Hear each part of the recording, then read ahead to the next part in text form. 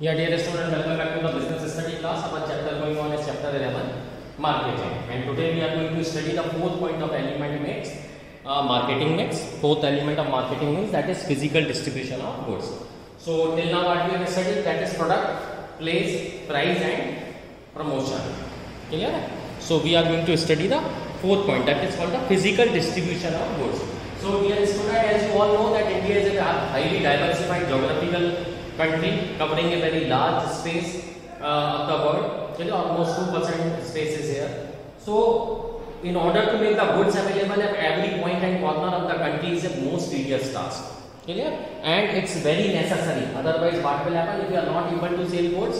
Then it will be a great loss for you. So, physical distribution is to be done with the great care and caution. And for that purpose, a huge network is required. You can't announce everything at the every part of the countries, so huge network is required. For example, you are in Rajasthan and you want to sell any goods in uh, South India or Tamil last point, it is very difficult until and unless you are having a good physical network distribution.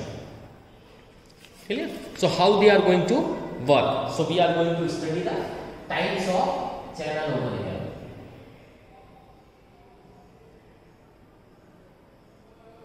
Types of channels. Clear? So first is direct channel or zero level. Direct channel or zero level. What you see over there is Domino's, McDonald's, they are directly offering their goods to the consumer. In this way they are doing the sale. There is no middleman involved in it, and the goods is generally not much a costly goods. Clear? And the manufacturer is going to sell his product directly through this channel this is called direct channel or zero channel okay now comes is manufacturer one one level channel one level what comes after is manufacturer then comes is retailer and comes here is consumer Okay? In this form of arrangement, the intermediary retailer is used between the manufacturer and the customer. That is goes back from manufacturer to the retailer and from that it is transferred to the consumer, final user. Clear? Okay? This is the example here. What comes under it is the car dealers. Because no other thing is required. Car, jeep dealer, commercial vehicles, every type of the vehicle will come over under here. Okay? Then third level that is manufacturer, afterward is wholesaler, and afterward is retailer. Okay, this is the most commonly adopted distribution network for most of the consumer goods. This type of the channel is generally used for consumer goods. Okay, the first one is used for the cars, vehicles, and second is used for the consumer goods like soap, soil, cloth, rice, sugar and pulses etc. Okay.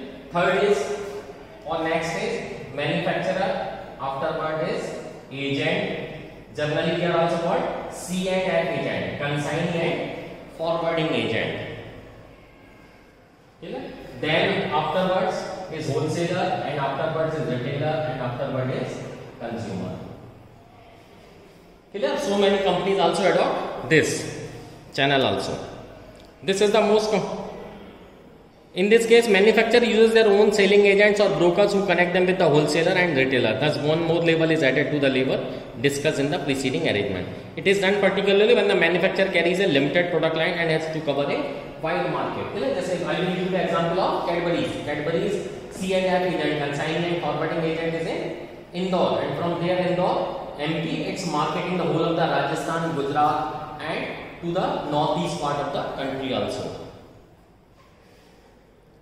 Okay? So these are generally the types of channel. Now what we are going to study is factors determining the choice of channels.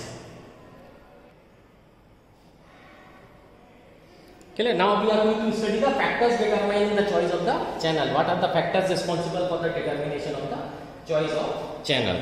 So see first is product related factor.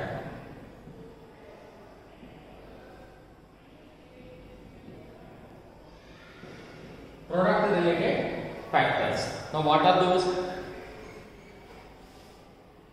The important product related consideration in deciding the channel include whether the product is an industrial or consumer product. Okay? Now first we have to decide that whether the product is consumer product or industrial product. If it is an industrial product, it requires very uh, uh, direct channel of sale. But if it is a consumer product, then it needs a wider channel of network in order to make the goods available to the remotest part of the country.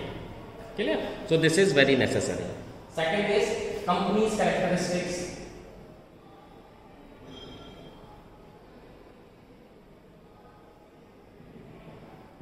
clear sometimes company wants to have a full control over their distribution network clear so it includes the financial strength of the company and the degree of control it wants to hold on the other channel now direct selling involves uh, lots of funds to be invested in fixed assets for starting own. So if you, whether you want to go for the direct selling or indirect selling, if you go for the direct selling, you have to open offices in every city. Now there are almost 650 uh, district in the this country to open 650 offices it's a very huge target and involve huge investment in the fixed assets clear and indirect selling on the other hand does not require holding of any of the such fixed assets what you have to do is to select the distributor dealer network channel in order to make the goods available clear Similarly, if the management want to have greater control over the channel member, short channels are used. But if the management do not want more control over the middleman, it can go for the longer channel or large number of intermediaries.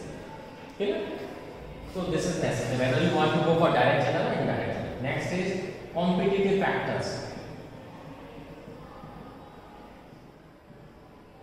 Because of the availability of the huge competition in the market, the choice of this channel is also affected by the channel selected by competitors in the same industry. If the competitors have selected a particular channel, the chemist shop for the sale of toiletry products like hair oil, the other firm may also like to select the similar channel. Okay, like, just if you see the example of TV, tv is generally sold through the distributor dealer network, huge network available. But uh, the Xiaomi has opted for through e-commerce website Flipkart only to sell their 55 inch TV. So it's all depends upon you whether you want to go according to the competition available in the market or you want to go to all on your own way clear next is market factors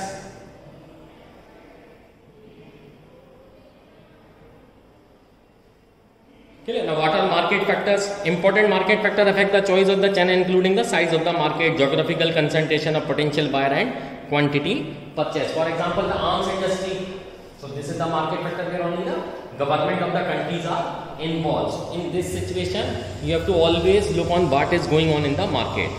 If the buyers are concentrated in a small place, shorter channel may be used. But if the buyers are widely dispersed over a large geographical area, longer channels may be used. For example, we are buying our lots of defense requirement from foreign countries. So in this case, we have to consider the market factors. Okay. Next and last is environmental factors.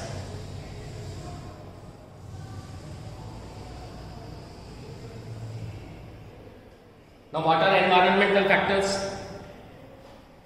It include the affecting the choice includes and such as the economic condition, legal consent. What is the economic condition of the country? What are the legal consent involved in it? This government is issuing order for the ban of the several type of products. In this case, you have to also see to distribute the goods. Just even after having the corona, government has restricted the export of the all types of Uh, medicine used for the treatment of this disease. So there are several factors which is called environment factor is going to affect these things.